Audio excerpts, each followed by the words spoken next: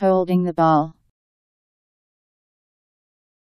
The action of a player keeping hold of the ball when tackled. When tackled, the player must kick or hand pass the ball, and failing to do so, provided he has had the opportunity, results in a free kick to the tackler.